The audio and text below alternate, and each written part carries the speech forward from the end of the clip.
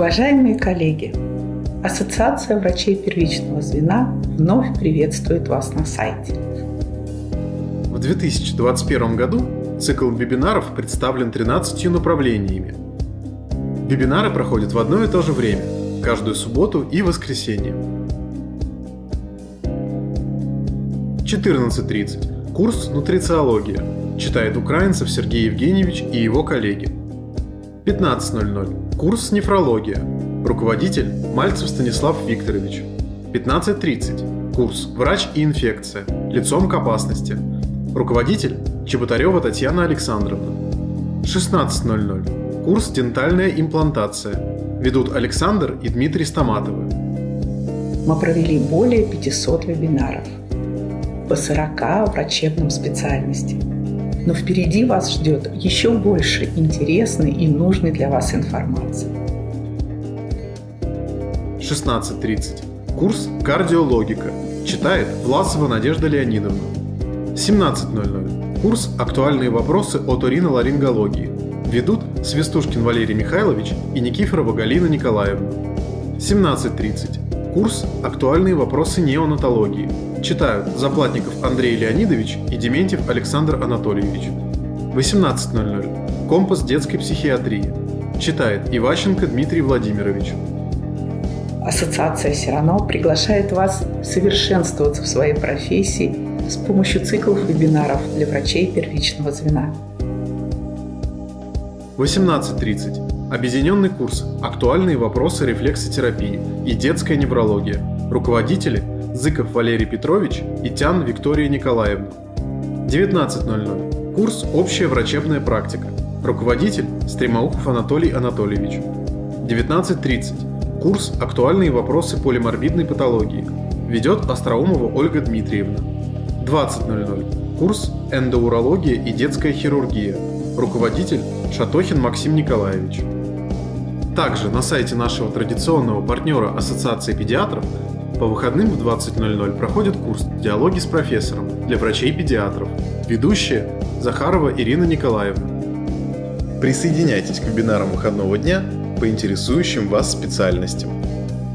Регистрация доступна на сайте www.edu-serrano.ru Ну что, доктора, до встречи! Мы вас ждем!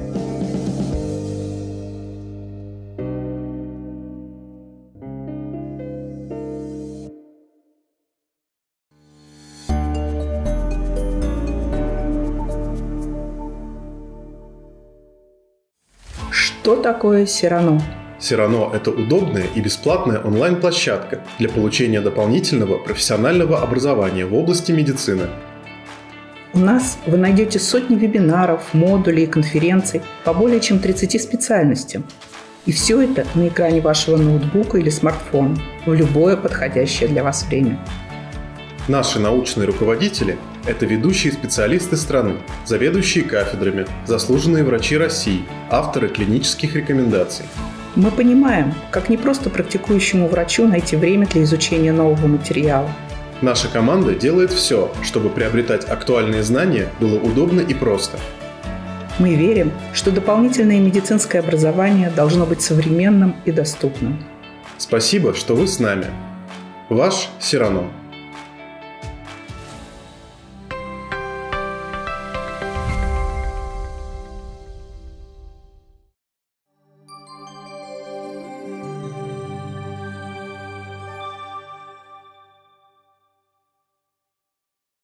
Здравствуйте, уважаемые коллеги! Я Стремаухов Анатолий Анатольевич, и мы с вами продолжаем рассматривать актуальные вопросы практической медицины, иллюстрируя их случаями из практики. Вот сегодня поговорим о раке области большого дуоденального сосочка. Ну вот он называется большой дуоденальный сосочек, но не такой уж он большой, он маленький. И находится не в очень сложных, но достаточно, так сказать, интимных взаимоотношениях с поджелудочной железой, желчеводящими путями, с двенадцатиперстной кишкой. Мы понимаем, что формируется это все из общего желчного протока со своим сфинктером, из панкреатического протока со своим сфинктером. образуется ампула, где есть сфинктер ампулы, сфинктер Одди. И вот, собственно, большой сосочек, который э, находится в 12-перстной кишке. Соответственно, заболеваний может быть много, и вот одно из этих заболеваний – это рак области большого дудонального сосочка. Почему говорю об этом? Потому что не так часто у нас встречается, если встречается, то может быть недооценена симптоматика или пропущена – и случай из нашей практики может очень наглядно иллюстрировать и сложности диагностики, и тактику ведения таких пациентов. Итак, рак области большого дуоденального сосочка. Вообще злокачественные опухоли большого дуоденального сосочка представлены карциномами. В основном карциномами, злокачественными эпителиальными опухолями, гистологически это аденокарциномы, независимо от того, исходят ли они из ампулы, протоков, или ацинусов поджелудочной железы или желчного протока. Очень часто трудно определить исходное место развития этой опухоли. Карцинома в большинстве случаев имеет вид полипа или опухоли медулярной, мягкой консистенции, иногда с низкой степенью злокачественности, а при гистологическом исследовании выражен фиброз. В отличие от карциномы большого дунального сосочка, ацинарно-клеточный рак обычно более крупный, плотный, склонен к инфильтративному росту, размер опухоли до 3 см, и распространяется так. Сначала инфильтрируется головка поджелудочной железы, а потом распространение по стенке общего желчного протока. Возможно, заинтересованность нисходящей части 12-перстной кишки, инвазия в нее с изъязвлением слизистой, вторичным кровотечением – Опухоль может прорастать и в селезеночную воротную вены, а это влечет за собой их тромбоз и развитие спленомегалии. В третьих случаев уже интраоперационно выявляются метастазы в регионарные лимфатические узлы.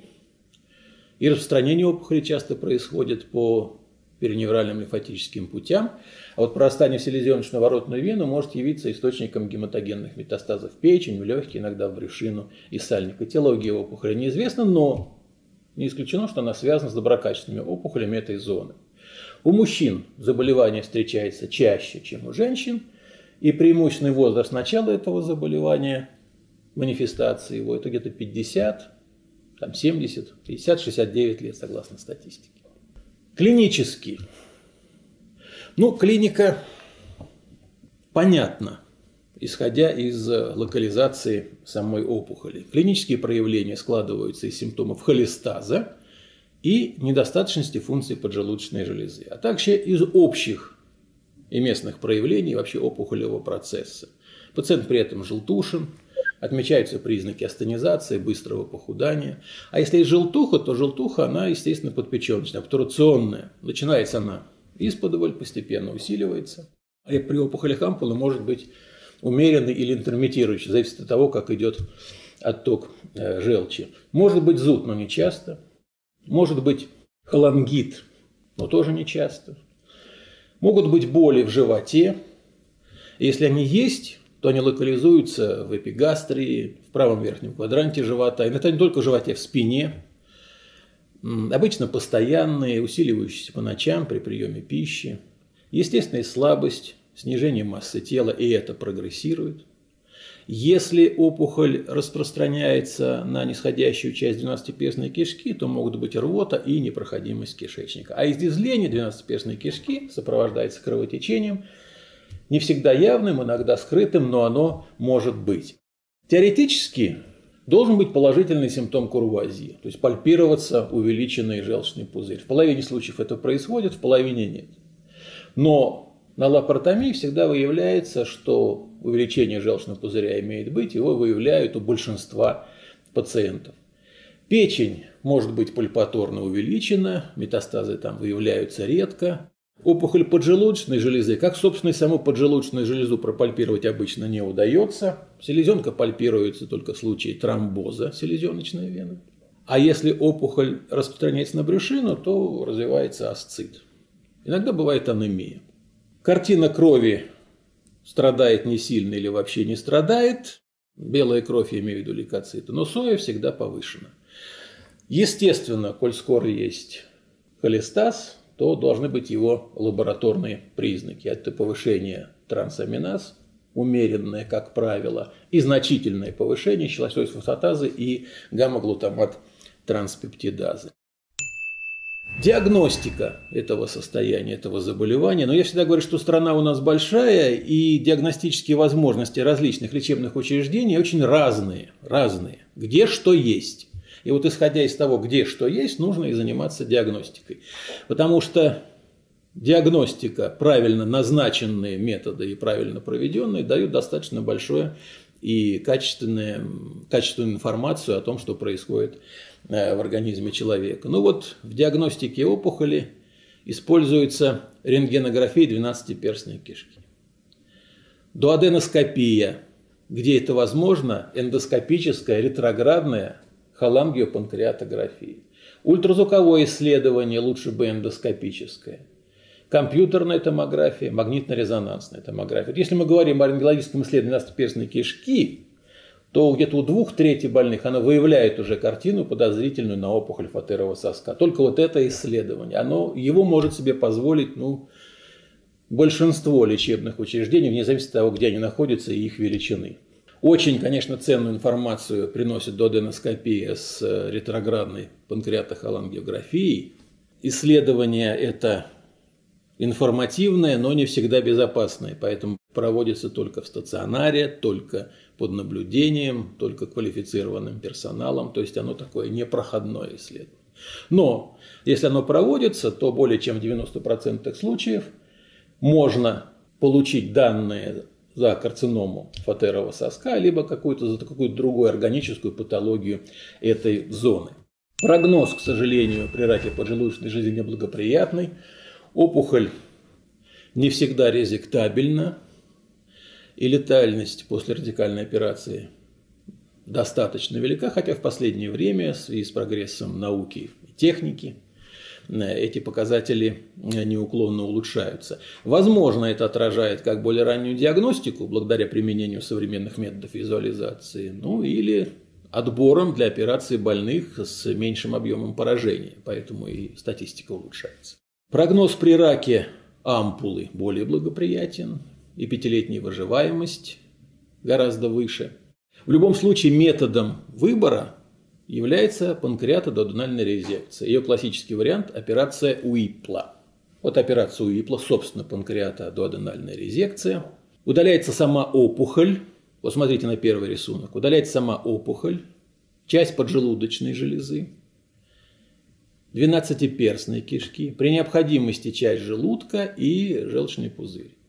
А затем, смотрите второй рисунок, накладываются анастомозы, восстанавливается проходимость и целостность соединений желудка, двенадцатиперстной кишки, желчных протоков и протоков поджелудочной железы. Операция достаточно объемная, не всегда проста и выполняется в два этапа, как правило.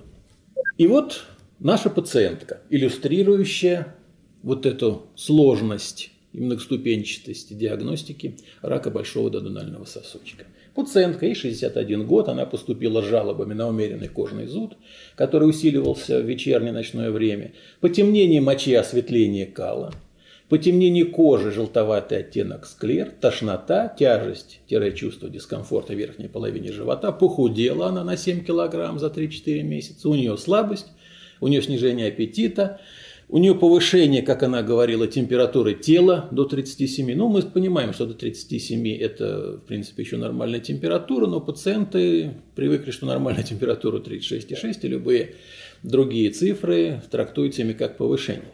Иногда малопродуктивный кашель, казалось бы, причем он здесь. Начинаем пациентку расспрашивать и выясняем, что в течение жизни у нее частые бронхиты, да, откуда кашель.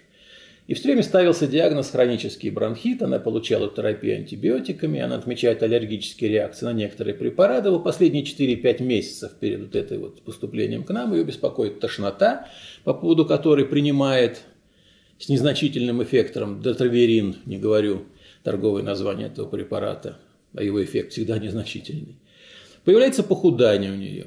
Она отмечает постепенное диффузное потемнение кожи с пигментными пятнами, не постоянный и не интенсивный, но все-таки зуд, преимущественно на теле. У нее отмечается желтушный склер, который присоединяются потом и очень быстро осветленный стул и потемнение мочи. Понятно, о чем идет речь.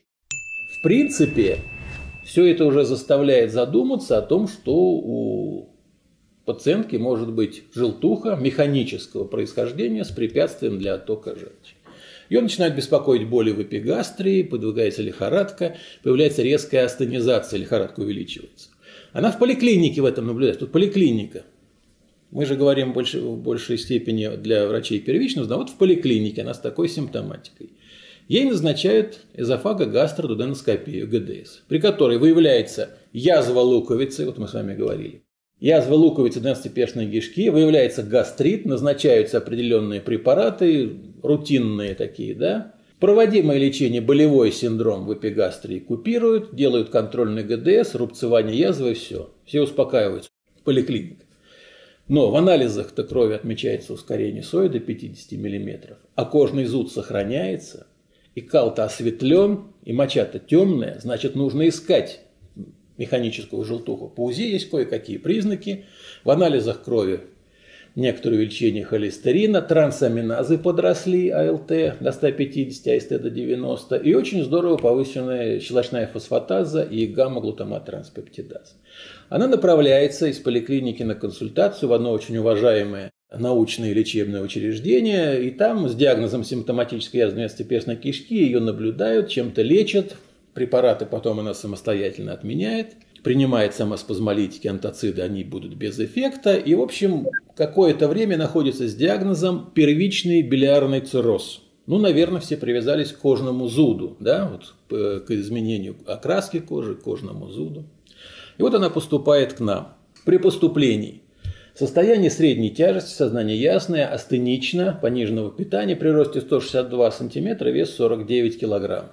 Достаточно худощавый и миниатюрный загорелые кожные покровы, которые сбивали иногда врачей, она действительно загорала. Да? Землисто-бронзовым оттенком, множество пигментных пятен под этим загаром, тургор кожи снижен. Ну, вы знаете, что загар, солнце снижает тургор кожи. Видимо, и слизистые более-менее нормальные, склеры желтушные. Все остальное без особенностей, жестковатое дыхание без хрипов, тоны сердца более-менее, частота сокращений где-то на верхней границе нормы, но чуть выше, давление нормальное. Сниженный аппетит, живот, чувствительный при пальпации в околопупочной области, край печени плотный и вот положительный симптом курвуазье, то есть пальпируется увеличенный желчный пузырь. И проводятся лабораторные обследования, которые в красной и белой крови обычно ничего, так сказать, не выявляет особенного. Соя увеличена 51 мм. Ну, тромбоциты нормальные, белок тоже все вот приведенные здесь показатели в пределах нормы. Что же не нормы? Билирубин повышен, как положено при холестерине. Билирубин повышен и общий, и прямой. Трансаминазы повышены. Ну, так, в допустимых пределах. Но вот щелочная фосфатаза и гамма-глутамат-транспептидаза повышены существенно. Ну, поскольку кашель делает рентгенологическое исследование грудной клетки, и там выявляют эмфизему и пневмофиброз, и посттуберкулезный обезосленный очаг, видимо, был туберкулез, обезосление аорты. Спирография выявляет нарушение, скрытое обструктивное нарушение, КГ более-менее ничего. И вот УЗИ органов брюшной полости и почек. Выявлена дилатация внутри печеночных желчных протоков левой доли. Холедах резко дилатирован до 21 мм. Просвет пуст, но в терминальном отделе нечетко, но выявляется гипоэхогенное образование диаметром до полутора сантиметров. Опухоль под вопросом ставит врач-исследователь.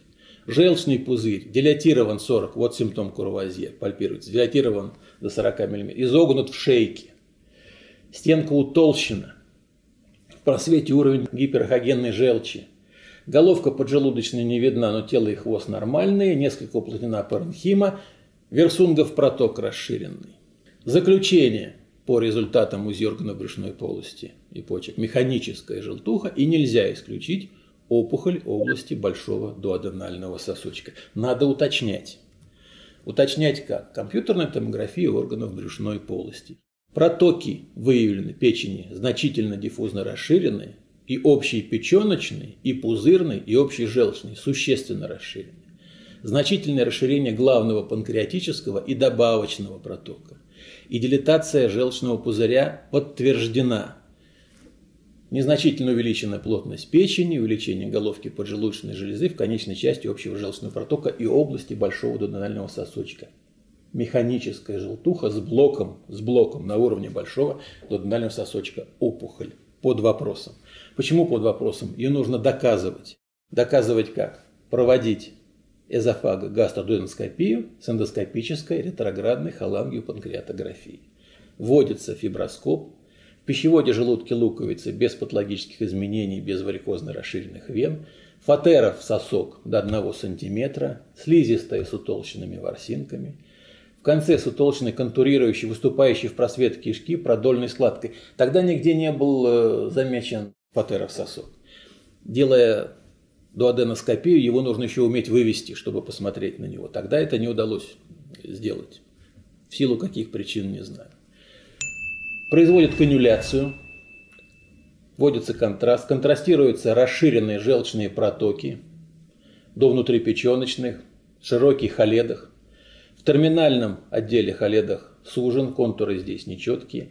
Делается папиллосфинктеротомия, желчь выходит. Через отверстие вводится зонд, производится санация. Эндоскопическая и рентгенологическая картина интрапапиллярного блока, вероятнее всего, опухоль взята, биопсия – вот, собственно, она и верифицирует этот диагноз. После папиллосфинктеротомии делается опять УЗИ органов брюшной полости и почек, отмечается уменьшение диаметра внутрипеченочных желчных протоков и общего желчного протока, и желчный пузырь размерами уже на верхней границе нормы. В цитограмме из латерового соска клетки аденокарциномы, биопсия, картину умеренно дифференцированной аденокарциномы. Таким образом, общий диагноз, клинический диагноз нашей пациентки звучит так. Рак, умеренно дифференцированная аденокарцинома области большого дуоденального сосочка, механическая желтуха, вторичный гнойный холангит, обструктивная болезнь легких, хронический бронхит в неполной ремиссии, пневмофиброз, эмфизема и вентиляционное нарушение, нерезкие по обструктивному типу, посттуберкулезное очаговое изменение в легких, атеросклероз аорт, то есть полиморбидность это все-таки есть, но пациентке 61 год. И диагностируя одно заболевание, мы должны забывать необходимости диагностирования других заболеваний и их лечений.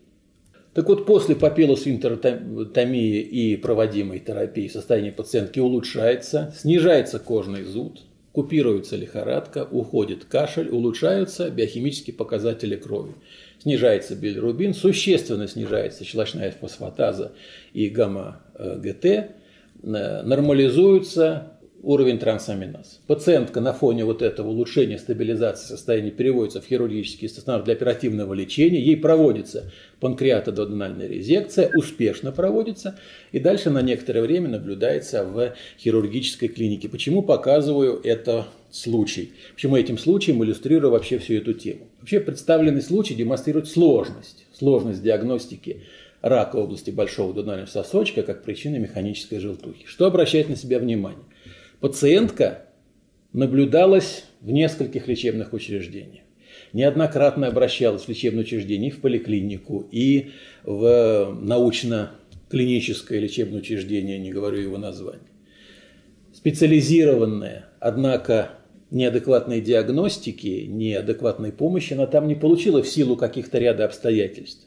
В силу ли редкости заболевания, в силу ли не настороженности врачебного персонала в отношении возможности развития такого заболевания. Но вот, к сожалению, так произошло. Это наблюдение интересно еще и тем, и как раз тем, что рак области большого дудонального сосочка в нашей с вами не хирургической, вот терапевтической практике, а мы общаемся как э, участковые терапевты, врачи общей практики, амбулаторные врачи, встречается достаточно редко. И встречаясь редко, у нас снижается настороженность в отношении того, что он вообще может быть.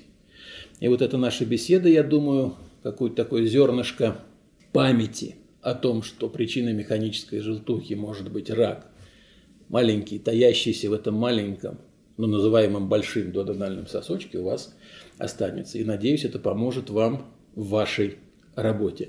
Благодарю вас за внимание, уважаемые коллеги.